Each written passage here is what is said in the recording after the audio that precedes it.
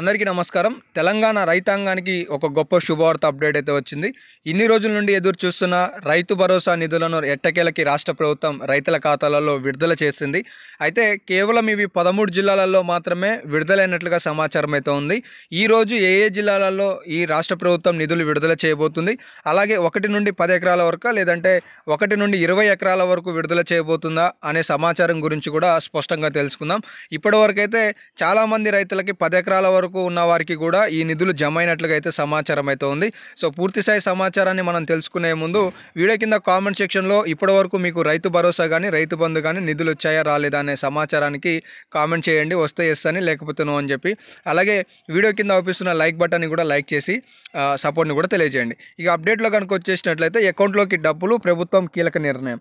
అయితే ఈ అకౌంట్లకి సంబంధించి మీ అందరికీ తెలుసు. గతంలో సీఎం కేసీఆర్ గారు ఉన్నప్పుడు రెండు వేల పద్దెనిమిదిలో రైతు బంధు పథకంతో నాలుగు వేల రూపాయలతో స్టార్ట్ చేశారు.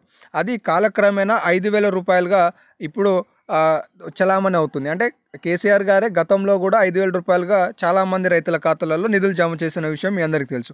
కాంగ్రెస్ రాష్ట్ర ప్రభుత్వం వచ్చిన తర్వాత డిసెంబర్ పన్నెండవ తారీఖు నాడు ఇదే రీతిలో ఐదు వేల రూపాయలు వేశారు. కానీ ఇప్పుడు ఏడు వేల రూపాయలను రైతుల ఖాతాలలో జమ చేయబోతున్నారు. దీనికి సంబంధించి ప్రతిపక్ష నాయకులైన కేటీఆర్ గారు కావచ్చు హరీష్ రావు గారు కావచ్చు ఈ మీరు చాలా హామీలు ఇచ్చారు కానీ ఇప్పటివరకు పథకాలను ప్రారంభించలేదు అని చెప్పేసి డిమాండ్ చేస్తే తాజాగా తుమ్మల నాగేశ్వరరావు గారు ఒక సమావేశంలో ఒక ప్రకటన చేశారు. ఇప్పుడు ఎవరైతే ఏడు వేల ఐదు వందల రూపాయలు అందుకోవాల్సిన రైతులు ఉన్నారో వీళ్ళకి దసరా కల్లా నిధులు విడుదల చేస్తామని చెప్పేసి చెప్పారు. ఇందులో భాగంగానే డిసెంబర్ తొమ్మిదో తారీఖు నాడు తెలంగాణ రాష్ట్రంలో రాష్ట్ర ప్రభుత్వానికి సంబంధించి కావచ్చు కేంద్ర ప్రభుత్వానికి సంబంధించి కావచ్చు అకౌంట్లలో నిధులు అనేవి జమ అయ్యాయి దీనికి సంబంధించి అయితే మీరు ఖచ్చితంగా తెలుసుకోవాల్సిన విషయం ఏంటి అంటే అగ్రికల్చర్ ల్యాండ్ అయి ఉండాలి. నాన్ అగ్రికల్చర్ ల్యాండ్ వాళ్ళకి ఈ రైతు భరోసా ఏడు వేల ఐదు వందల రూపాయలను విడుదల చేయట్లేదనే సమాచారం కూడా తెలుసుకోవాల్సిన అవసరం అయితే ఉంది.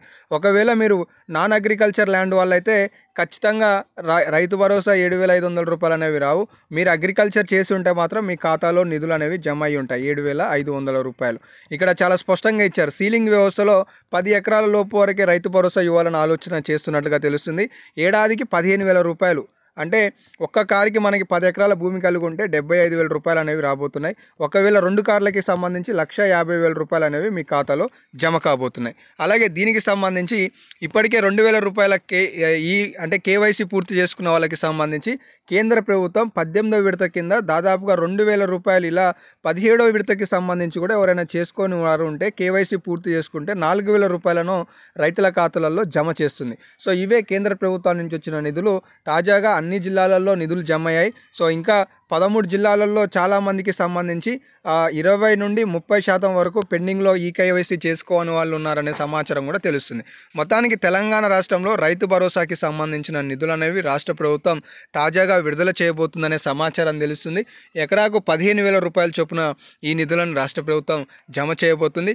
ఇంకా ఏమైనా తాజాగా అప్డేట్స్ వస్తే మాత్రం మీకు తదుపరి వీడియోలలో తెలియజేస్తుంటాను కాబట్టి మిస్ కావద్దు అనుకుంటే మన ఛానల్ని సబ్స్క్రైబ్ చేసుకొని ఫాలో అవుతుండండి. ధన్యవాదాలు.